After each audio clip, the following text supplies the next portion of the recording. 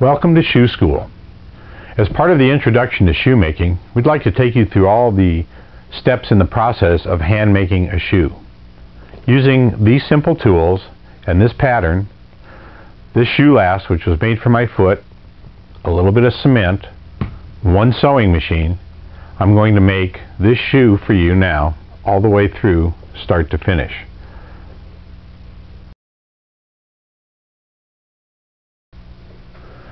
To begin, we need to identify the parts of the shoe and the relationship to the pattern.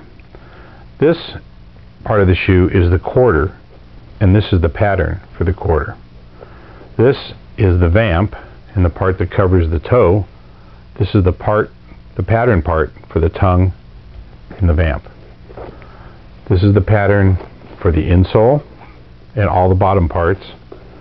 And this piece relates to the heel counter on the inside of the lining. This piece is the heel counter, the reinforcement that goes in this part of the shoe.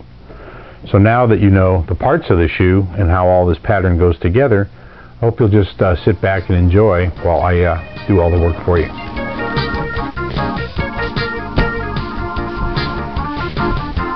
All right.